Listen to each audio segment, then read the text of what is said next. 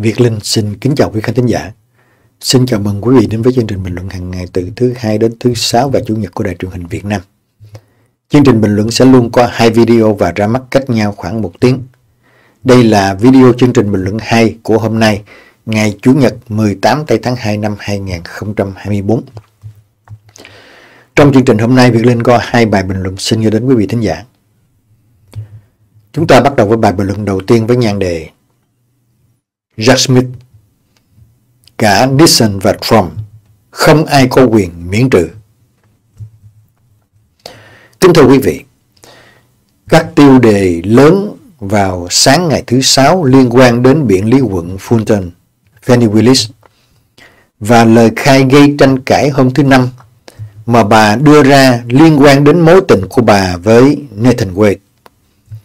Nhưng đó không phải là câu chuyện lớn đáng lo ngại trên mặt trận pháp lý của Donald Trump. Trên thực tế, thì những rắc rối pháp lý của Donald Trump đã xuất hiện trên các mặt báo. Nhưng mà hồ sơ của công tố viên đặc biệt Jack Smith trong vụ án ngày 6 tháng 1 mới là mối nguy hiểm bậc nhất mà Donald Trump đang rất lo sợ. Hãy bắt đầu với quyết định của thẩm phán Eileen Cannon. Từ chối đề nghị của các luật sư của Trump nhằm trì hoãn các hành động trước khi xét xử trong vụ án mà bà ấy đang xét xử. Về việc Donald Trump ăn cắp các tài liệu mật khỏi tòa Bạch Ốc vài ngày trước khi mãn nhiệm. Eileen Cannon là người được Donald Trump bổ nhiệm. Sau khi được giao giải quyết vụ án thì bà Cannon đã đưa ra một loạt những phán quyết ủng hộ Trump một cách trắng trợn, nhằm giúp Trump trì hoãn quá trình tố tụng. Bà Cannon cũng ngăn chặn các nhà điều tra liên bang kiểm tra tài liệu bị FBI thu giữ. Đây là một quyết định bị các chuyên gia pháp lý trên cả nước bác bỏ. Chính vì vậy, mà giờ đây có lẽ bà ấy đã nhận được một thông điệp cảnh báo rằng bà ấy nên trở thành một thẩm phán đúng nghĩa thực sự, chứ không phải là một kẻ nịnh bợ. Nếu mà bà còn muốn là người phụ trách phiên tòa xét xử Donald Trump vụ tài liệu mật. Donald Trump cũng bị giáng một đòn mạnh trong tuần này khi thẩm phán Juan Merchant là thẩm phán trong phiên tòa xét xử vụ tiền bịt miệng Stormy Daniels bác bỏ một nỗ lực khác nhằm trì hoãn của các luật sư của Trump. Phiên tòa đó sẽ bắt đầu như dự kiến vào ngày 25 tháng 3 sắp tới đây. Nhưng mà chưa hết đâu quý vị. Một thẩm phán khác, Arthur Engoron, đã đưa ra phán quyết phạt Trump cả tiền phạt lẫn tiền lãi gần 450 triệu đô la qua vụ kiện dân sự do Tổng trưởng lý New York đưa ra để chống lại Trump Organization. Nhưng mà những diễn biến pháp lý đó cũng không làm Trump nào núng chút nào. Không làm cho ông ta phải lo âu bằng phần tồi tệ nhất là việc công tố viên đặc biệt Jack Smith để đơn lên tòa án tối cao để đáp lại yêu cầu của nhóm Trump về việc ở lại phiên tòa đó. Đó là vụ nổi dậy ngày 6 tháng 1. Trong hồ sơ dài 40 trang, Jack Smith và các luật sư của ông đã loại bỏ những lập luận của Donald Trump. Jack Smith hiện thật sự thì ông ta có thời hạn đến ngày 20 tây tháng 2 để gửi phản hồi này cho tòa án tối cao. Nhưng mà ông ấy đã làm điều đó sớm hơn 8 ngày và nói rằng những tội ác bị buộc tội đã tấn công vào trung tâm nền dân chủ của chúng ta. Âm mưu tội phạm bị cáo buộc của Donald Trump nhằm lật ngược cuộc bầu cử và cản trở việc chuyển giao quyền lực một cách hòa bình cho người kế nhiệm sẽ là nơi cuối cùng công nhận một hình thức miễn trừ tuyệt đối mới đối với luật hình sự liên bang. Người nộp đơn xin hoãn lại để ngăn chặn các thủ tục tố tụng tại tòa sơ thẩm đã lên lịch bắt đầu vào ngày 4 tây tháng 3 năm 2024 trước khi đơn kháng cáo tạm thời của người nộp đơn buộc phải hoãn ngày đó.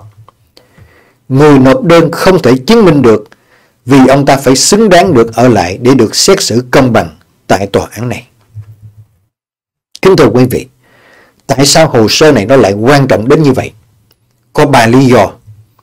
Lý do đầu tiên, Jack Smith kêu gọi tòa án tối cao hành động nhanh chóng. Jack Smith vẫn muốn phiên tòa bắt đầu vào tháng 3. Nếu tòa án tối cao đồng ý, thì Donald Trump sẽ bị xét xử ở hai phòng xử án riêng biệt với những cáo buộc đánh thẳng vào tâm điểm của hai biểu hiện lớn nhất vì sự xa đọa đạo đức của ông ta. Ở New York, với tư cách là một công dân bình thường, một người đàn ông đối xử với phụ nữ như cỏ rác. Ở Washington DC, với tư cách là một viên chức chính phủ, là người chế nhạo hiến pháp, là người muốn lật đổ nó và tin rằng không có luật nào áp dụng cho ông ta. Lý do thứ hai, công chúng Mỹ đang phải đối mặt với một tòa án tối cao bị chính trị hóa rất nhiều ở đây. Và rõ ràng là có ít nhất hai thẩm phán Samuel Alito và Clarence Thomas là hai người chắc chắn sẽ ra sức bảo vệ Trump về bất cứ điều gì. Nhưng mà phản ứng của Jack Smith tạo ra một loạt các quan điểm rất mạnh mẽ. Những lập luận có thể thu hút được ít nhất một số người theo chủ nghĩa nguyên bản, bảo thủ của tòa án tối cao. Jack Smith đã nhấn mạnh rằng những người soạn thảo hiến pháp không cung cấp bất kỳ nguồn văn bản rõ ràng nào về quyền miễn trừ tuyệt đối cho một tổng thống. Và lý do thứ ba, vụ Jack Smith là quan trọng nhất vì lý do đơn giản rằng việc kích động một cuộc nổi dậy ngày 6 tháng 1 là điều tồi tệ nhất mà Donald Trump đã làm. Cứ cho là có sự cạnh tranh gây gắt vì tội lỗi nặng nề nhất của ông ta. Nhưng mà việc kích động một đám đông để lật đổ chính phủ và ý định treo cổ phó tổng thống của chính mình vẫn được xem là những tình tiết nghiêm trọng nhất. Nếu Jack Smith thành công trong việc thuyết phục được tòa án tối cao đẩy nhanh vụ việc này và tiếp tục giành được phán quyết trước bầu cử, thì điều đó sẽ quyết định số phận của Donald Trump. Một số cuộc thăm dò gần đây đã chỉ ra rằng các cử tri dao động ở các tiểu bang chiến trường sẽ không bỏ phiếu cho Donald Trump nếu ông ta bị kết tội.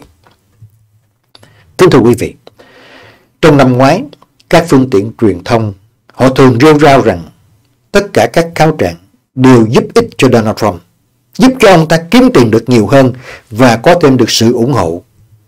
Điều này nó chỉ đúng một phần nếu mà họ chỉ nói về các cử tri sơ bộ của đảng Cộng Hòa. Nhưng mà bây giờ thì sự chú ý của truyền thông và những người thăm dò ý kiến đang hướng về phía những cử tri trong cuộc tổng tuyển cử và họ nhìn nhận vấn đề theo một cách khác, không giống như những cử tri Cộng Hòa. Và lời kết cho bài bình luận này kính thưa quý vị, việc kết án vụ án nổi dậy ngày 6 tháng 1 trước ngày 5 tây tháng 11 bầu cử thực sự sẽ là dấu chấm hết cho Donald Trump. Chắc chắn như vậy. Tất cả phụ thuộc vào việc tòa án tối cao có đồng ý với đề nghị của Jack Smith trong tuần này hay không. Nhưng Jack Smith đã đưa ra một trường hợp mạnh mẽ nhất có thể. Đó là, thưa quý vị, hãy nhìn lại trường hợp của Richard Nixon. Tuyên bố 4311 là một tuyên bố của Tổng thống Gerald Ford ban hành vào ngày 8 tháng 9 năm 1974. Khi ông ban hành một lệnh ân xá đầy đủ và vô điều kiện cho Richard Nixon, người tiền nhiệm của ông vì bất kỳ tội ác nào mà ông ấy có thể đã phạm phải chống lại Hoa Kỳ với tư cách là một tổng thống. Đặc biệt, lệnh ân xá bao gồm cả các hành động của Nixon trong vụ bê bối Watergate. Kính thưa quý vị, lời giải thích đơn giản nhất dành cho các thẩm phán bảo thủ trong tòa án tối cao là nếu hiến pháp có quy định tổng thống có quyền miễn trừ tuyệt đối thì Richard Nixon đã không có gì phải lo sợ và không cần thiết phải từ chức trước khi bị luận tội. Nếu hiến pháp có quy định tổng thống có quyền miễn trừ tuyệt đối, thì tổng thống Gerald Ford đã không cần phải ban hành lệnh ân xá cho Richard Nixon. Quá đúng quý vị. Thế thì còn gì cần phải bàn cãi? Còn gì cần phải tranh luận về quyền miễn trừ tuyệt đối phải có cho một ông vua lừa đảo ở Mar-a-Lago nữa đây.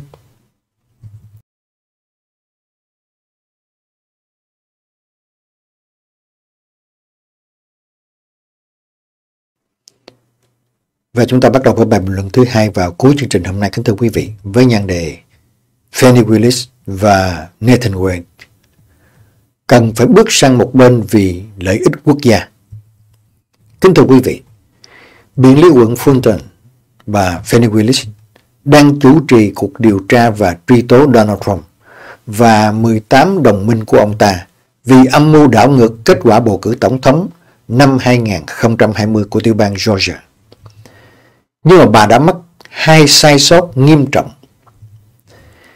Sai sót đầu tiên là vào tháng 6 năm 2022 khi bà tổ chức một buổi gây quỹ cho đối thủ chính của đảng Cộng Hòa ở tiểu bang Georgia là thượng nghị sĩ Burt Jones, một trong những đồng minh của Trump bị nhắm đến trong cuộc điều tra của bà. Thẩm phán Robert McBurney của quận Fulton đã đưa ra lý do về cuộc gây quỹ trước khi loại bỏ bà Fanny Willis và nhân viên của bà ấy ra khỏi vụ án theo đuổi các cáo buộc chống lại Bert Jones vào tháng 7 năm 2022. Và sai sót thứ hai là gần đây hơn, bà Fanny Willis thừa nhận có mối quan hệ cá nhân lãng mạn với Nathan Wade, một công tố viên đặc biệt mà bà thuê để giúp truy tố Donald Trump. Sự thừa nhận của bà được đưa ra để đáp lại việc đồng phạm của Trump là Michael Roman để đơn lên tòa tuyên bố bà Fannie Willis và Nathan Wade có mối quan hệ riêng tư bí mật và muốn thẩm phán loại họ ra khỏi vụ án. Một phiên điều trần đã được tổ chức vào thứ Năm theo yêu cầu loại bỏ bà Fannie Willis vì bị cáo buộc tham gia vào một mối quan hệ lãng mạn không chính đáng, dẫn đến xung đột lợi ích. Trump và các đồng phạm trong vụ án của ông ta cũng đang cố gắng bác bỏ mọi cáo buộc như vậy. Tính đến tháng trước thì Nathan Wade đã tính phí cho quận Fulton về công việc của ông ta với số tiền là hơn 650.000 đô la trong vụ án Trump trong hai năm qua. Vì vậy, trong một trong những vụ án hình sự lớn nhất trong lịch sử Hoa Kỳ là vụ truy tố một ứng cử viên tổng thống hàng đầu trong một năm bầu cử với một luật sư có mối quan hệ lãng mạn với công tố viên chính đang được trả số tiền quá lớn cho công việc của mình. Nhưng vụ án này không phải về những sai lầm đáng tiếc của Fanny Willis, mà là về chiến dịch bị cáo buộc của Trump nhằm đảo ngược kết quả bầu cử tổng thống Georgia một cách gian lận. Các cáo buộc chống lại ông ta là vô cùng nghiêm trọng. Ví dụ, vào ngày 24 tháng 1 năm 2021, khi vẫn còn là tổng thống đương nhiệm, Trump đã gây áp lực buộc Tổng thư ký hành chính tiểu bang Georgia, Raffensperger, phải kiếm cho ông ta 11.780 phiếu bầu. Điều quan trọng giờ đây là cơ quan công tố quận Fulton không nên để bị lạc hướng những hành vi sai trái của Trump và đồng bọn thay vì tập trung vào những đánh giá sai lầm của đội công tố. Fanny Willis và Nathan Wade nên tự nguyện rời khỏi cuộc điều tra và tạo cơ hội cho phép cho các công tố viên khác để tiếp tục điều hành vụ án này. Điều này rất quan trọng vì ba lý do. Lý do đầu tiên, sự hiện diện liên tục Fanny Willis và Nathan Wade sẽ tạo ra sự phiền toái lớn khi mà phiên tòa đến gần. Các công tố viên nên tập trung vào việc giải quyết vụ việc của mình trước tòa án, chứ không phải là quản lý sự điên cuồng của giới truyền thông xung quanh các vấn đề không liên quan. Lý do thứ hai, việc bà Fanny Willis và Nathan Wade bước sang một bên sẽ hạn chế ảnh hưởng đến hóa đơn trả tiền công cho Nathan Wade. Điều cần được chú ý hơn nhiều là Nathan Wade ông chỉ lập hóa đơn cho quận Fulton hơn 650.000 đô la dưới sự giám sát của bà Fanny Willis. Khi ông ta tính phí là 24 giờ cho một vụ việc trong một ngày. Điều này nó thật vô lý, thưa quý vị. Ai mà có đủ sức khỏe và căng mắt ra để làm trọn công việc 24 giờ trong một ngày để tính tiền với chính phủ là 24 tiếng đồng hồ. Chính vì vậy mà vấn đề thanh toán tiền cho Nathan Wade cần phải được xem xét kỹ lưỡng lại. Kết hợp với mối quan hệ cá nhân của ông ấy với Fanny Willis đã đặt ra những câu hỏi quan trọng, bao gồm cả việc liệu khoản thu nhập quá lớn của ông ấy có mang lại lợi ích cho Fanny Willis hay không.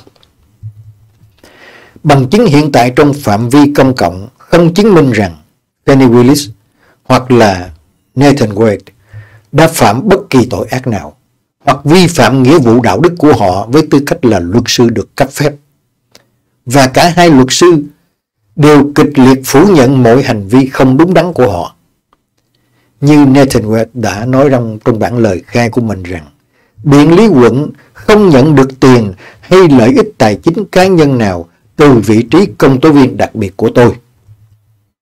Nhưng mà nếu một cuộc điều tra được tiến hành và có thể chứng tỏ được rằng bà Fanny Willis được hưởng lợi từ bất kỳ khoản thu nhập nào của Nathan Wade, thì những hành động đó sẽ là phi đạo đức và bất hợp pháp. Đặc biệt hơn nữa, ngay cả viễn cảnh về hành vi không đúng mực này cũng có thể cho phép Trump đưa ra lời bào chữa trước tòa án và dư luận rằng các vụ kiện chống lại ông ta là một phần của hình thức truy tố giống như một cuộc săn phù thủy. Và là kết cho bài bình luận hôm nay kính thưa quý vị. Cuối cùng và quan trọng nhất là Fanny Willis và Nathan Wade nên rời khỏi cuộc điều tra. Vì những tranh cãi này gây ảnh hưởng xấu đến phiên tòa. Điều này có thể xảy ra nếu thẩm phán cho phép luật sư của Trump nêu vấn đề này ra trước tòa. Hoặc nó có thể xảy ra nếu các phương tiện truyền thông đưa tin tới các bồi thẩm đoàn bên ngoài tòa án. Nếu một bồi thẩm đoàn cho rằng Fannie Willis có động cơ truy tố Trump để làm giàu cho một đối tác lãng mạn thay vì thực thi công lý, thì phán quyết có thể chuyển từ có tội sang không có tội. Tuy nhiên, điều này vẫn có thể tránh được nếu Fannie Willis và Nathan Wade tự nguyện rút lui để không làm hư phiên tòa. Sự hiện diện của họ trong vụ án chính là những nguyên nhân thúc đẩy những lo ngại dẫn đến vật vụ án này sẽ gặp thất bại. Nếu Freddie Willis và Nathan Wade bước sang một bên, các luật sư có thẩm quyền khác có thể đưa ra luận điểm rằng Trump đã vi phạm luật và việc trình bày đầy đủ và chắc chắn các bằng chứng vẫn có thể được đưa ra tại phiên tòa. Và bởi vì nhóm công tố quận Fulton rất đông đảo, bao gồm cả hai công tố viên đặc biệt khác đã tham gia vụ án. Việc từ chối có thể sẽ không khiến phiên tòa bị trì hoãn cho đến sau cuộc bầu cử. Nói tóm lại, lời khuyên cho cả Fanny Willis và Nathan Wade là hãy vì lợi ích chung của đất nước và của nền dân chủ. Hãy bước sang một bên và tha hồ yêu nhau một cách tự do, công khai khi họ không còn dính líu đến vụ án.